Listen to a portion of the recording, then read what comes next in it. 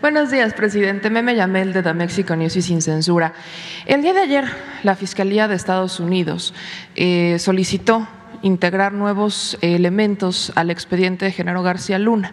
Estas nuevas pruebas es un audio, bueno, son unos audios en donde Genaro García Luna, el exsecretario de Seguridad, eh, tuvo conversaciones con agentes encubiertos. En, estas, en estos audios, en uno de ellos, afirmó haber hostigado y amenazado, perseguido a periodistas que lo investigaban aquí en México, así como también haber pagado millones también a periodistas y a medios de comunicación para que no lo investigaran.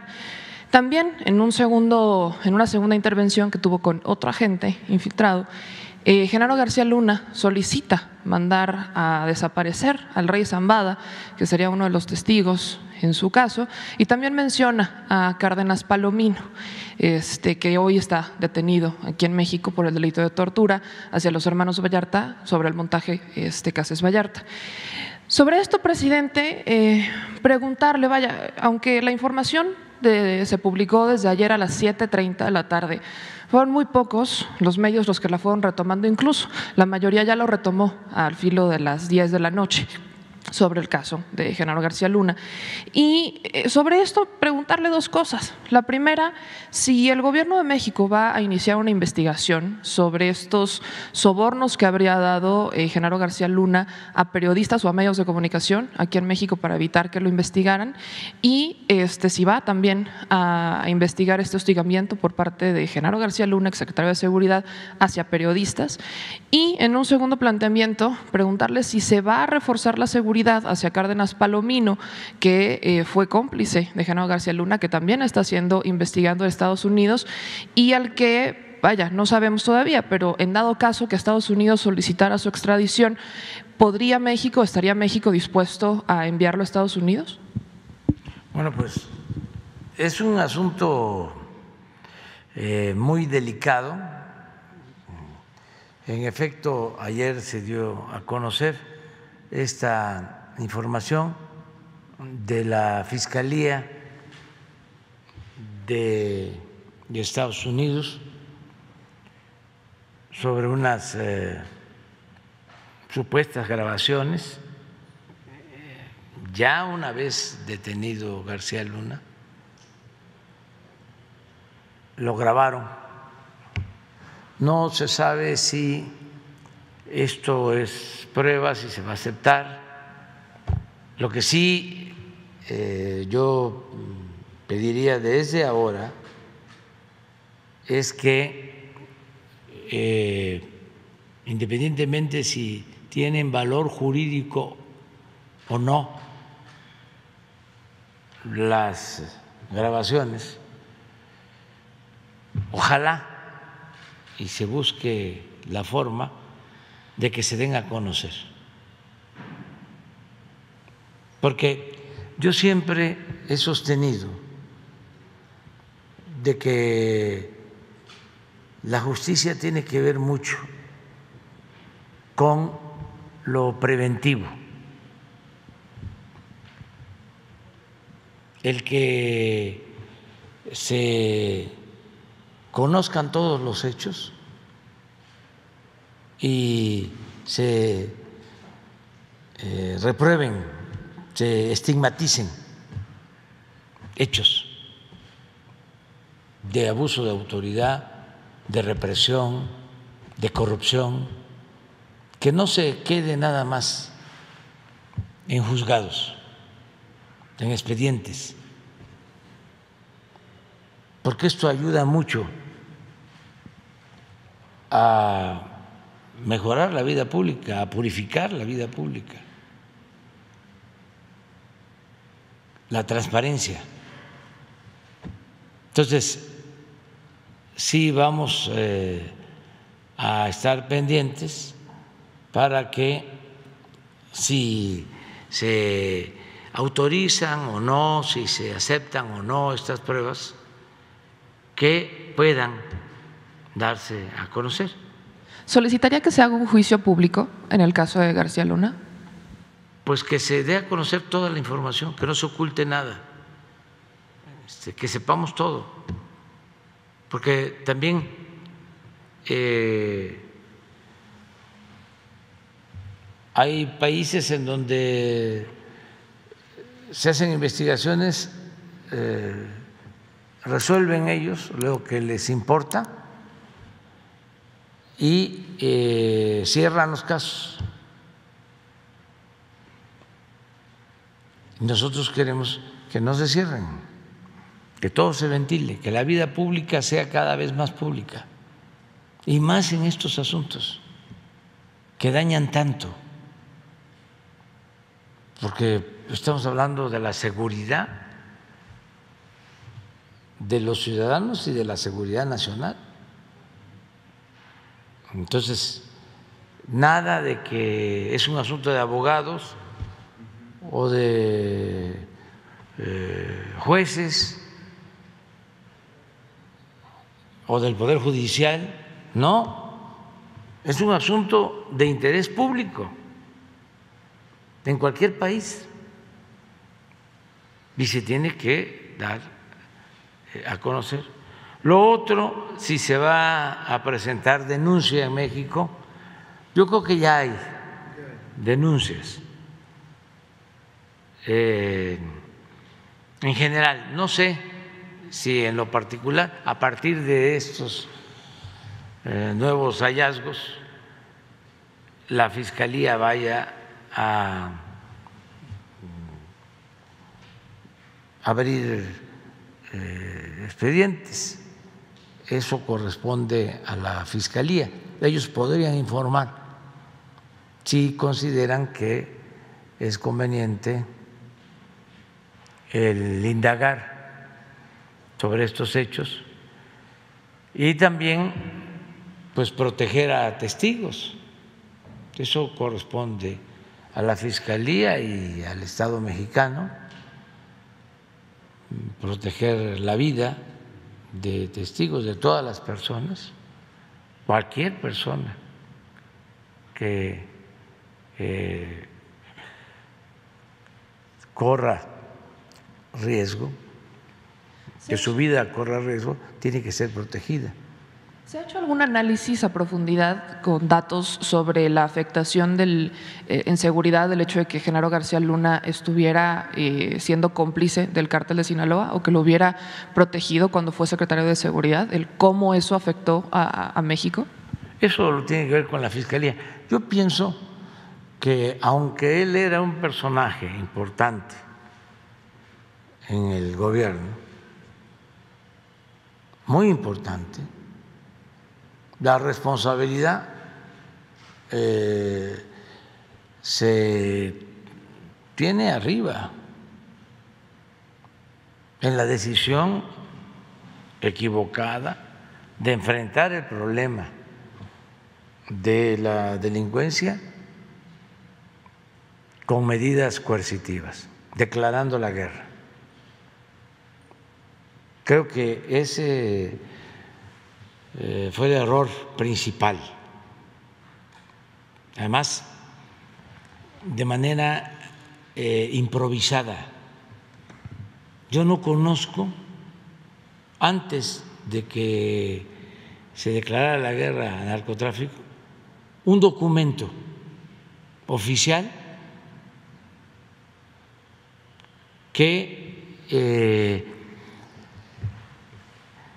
hablara de la problemática, que hiciera un diagnóstico de lo que estaba sucediendo y de qué opciones, qué alternativas habían para enfrentar el problema de la delincuencia. Es que fue eh, de repente y casi entrando el gobierno de Calderón.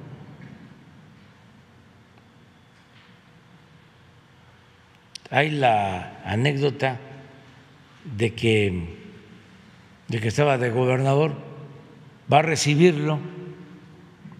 Todo esto en medio de la falta de legitimidad por el fraude electoral.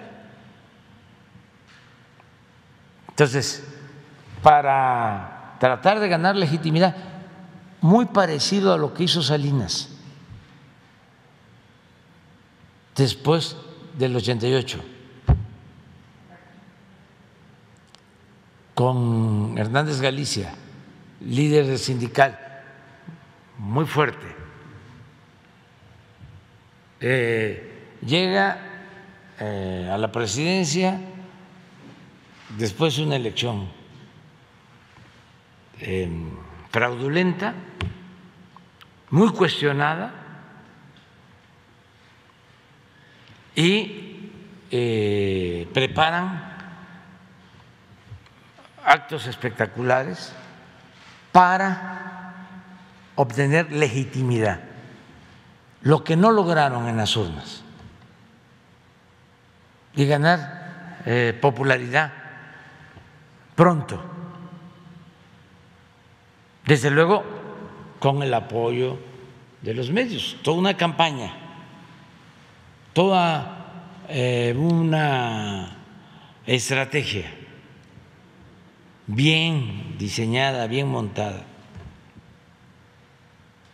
Y popularmente o en términos mediáticos le funcionó porque da ese golpe y otros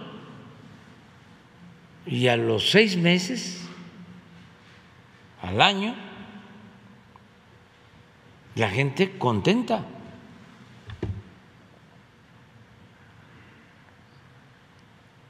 Eh, diciendo, ahora sí hay presidente.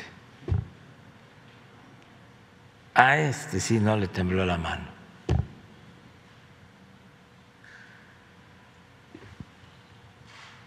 Esa política de espectacularidad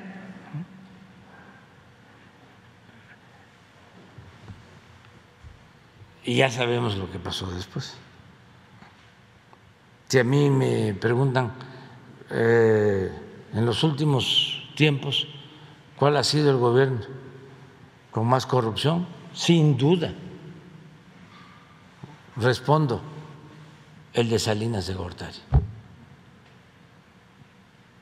Porque fue cuando se entregaron a particulares los bienes de la nación. Se llevó a cabo una transferencia de bienes del pueblo de México a un grupo de allegados a Salinas.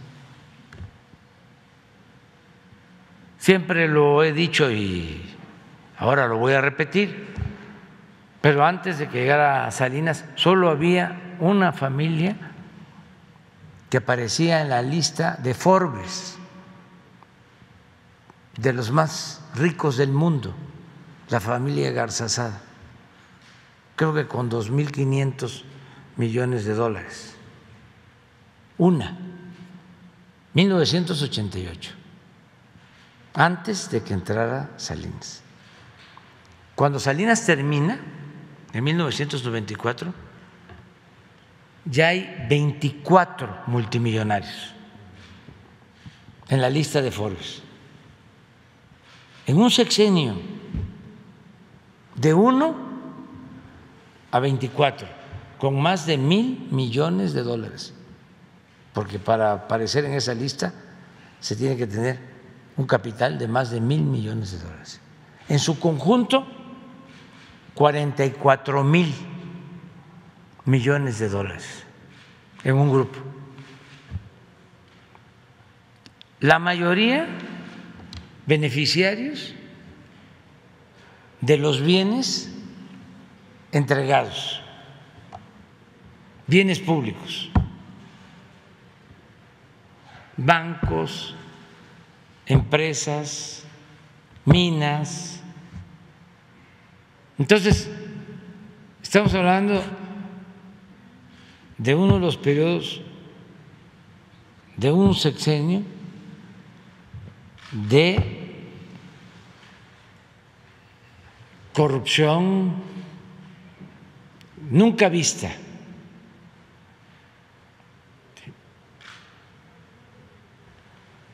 Pero un control de los medios, ahí empezó también la domesticación de la intelectualidad,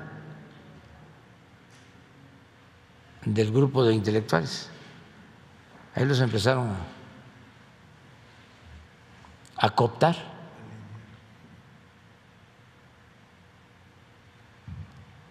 A acarrear.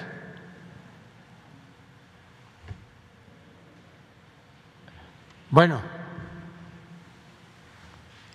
esa misma política parecida es la que se aplica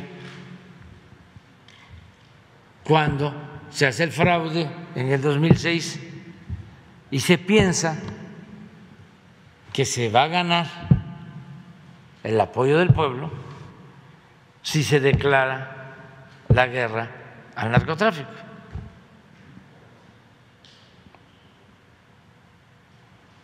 Nada más que eso no resultó ni mediáticamente como lo otro. Sí, ayudó a que se aceptara, se fuera olvidando el fraude y además como estaba en su apogeo la guerra sucia en contra de nosotros, pues se mantuvo ahí. Pero el costo fue altísimo. Bueno, lo estamos todavía pagando eh, por la violencia. Y decía yo que fue una estrategia para buscar legitimidad, porque apenas estaba entrando por ahí debe estar la fecha.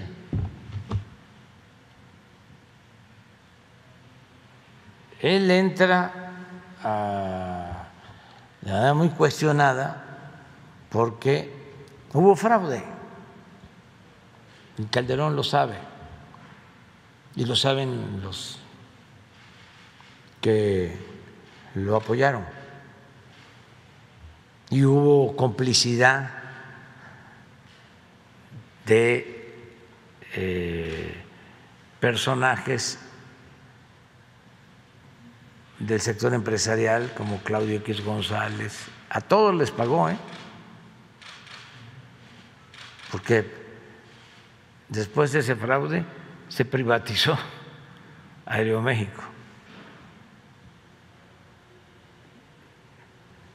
Eh, y los medios de información. Entonces, ¿cuándo fue que declara la guerra en Michoacán? 11 de diciembre. O sea, a 11 días de haber entrado a la presidencia. Llega en un avión de la Fuerza Aérea, un avión de presidencia, a Uruapan. Y están esperándolo ahí, los funcionarios.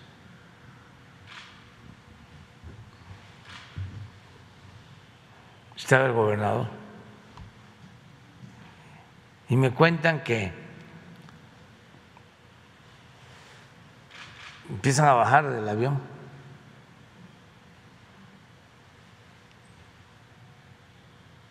Y el secretario de la Defensa, pues es un hombre grande, Galván, con sus uniformes y otros militares. Entonces, ¿qué dice el gobernador y el presidente? Porque no lo veía. Pues nada, que el presidente también venía este, con uniforme militar. Baja del avión. Estuvo a punto de decirle al secretario de la Defensa, ¿y dónde está el presidente? Porque venía con chaleco militar. y de ahí de Uruapan se van en carretera a, a Patzingán. Y todavía, pues los que conocen Michoacán y los que conocen el paisaje, que ya, a diferencia de Uruapan, Apatzingán es tierra caliente. Y todavía le sugieren, quítese el, el ¿cómo le llaman eso? ¿Sí? El traje ese, militar, porque hay mucho calor. Dijo, no, y ahí va al acto. ¿Tienen el acto?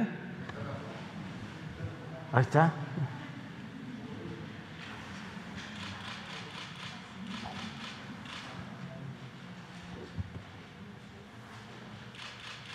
Pero, pues todo esto es importante porque tiene que ver con una mentalidad.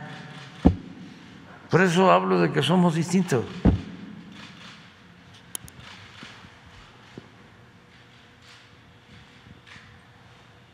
No, pues ahí está Lázaro también, estudiante.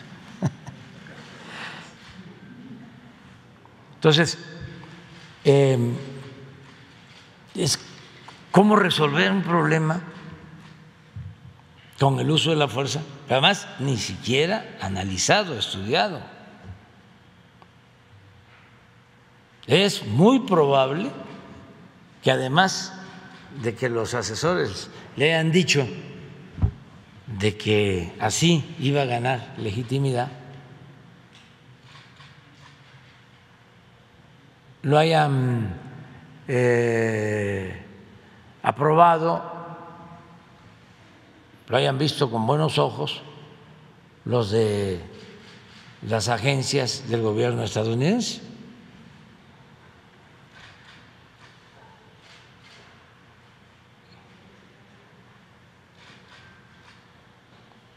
Y así empezó todo. Entonces luego, ahí no está este, ahí está el secretario de gobernación, que está atrás, era gobernador de, de Jalisco, pero no, no aparece ahí este García Luna. Pero al poco tiempo, ¿eh? Sí, Lázaro, sí pero al poco tiempo ya empieza este, a aparecer García Luna. Entonces, ese es el origen del asunto. Y luego, pues, se queda con García Luna como hombre fuerte para profundizar sobre esta política. Yo andaba visitando los pueblos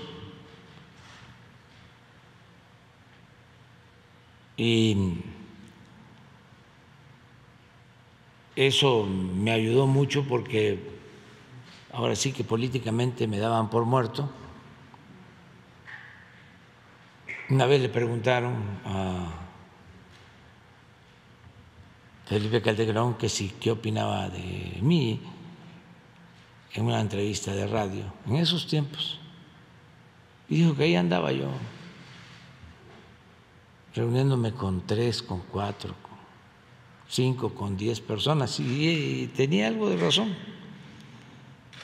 porque era pueblo por pueblo.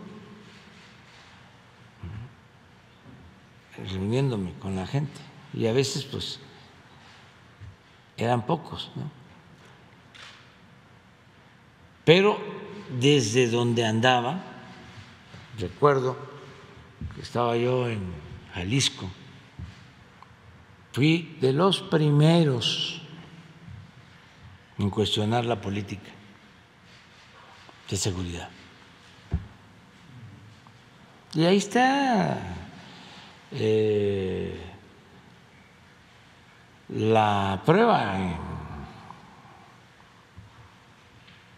las hemerotecas, lo que hay de los periódicos, las posturas de los primeros, cuando todo el mundo estaba aplaudiendo, eh, eso no conduce a nada. Recuerdo que en una plaza pública en Jalisco hablé del tema, de que eso no era eh, correcto, que esa no era la opción. Incluso pedí la renuncia.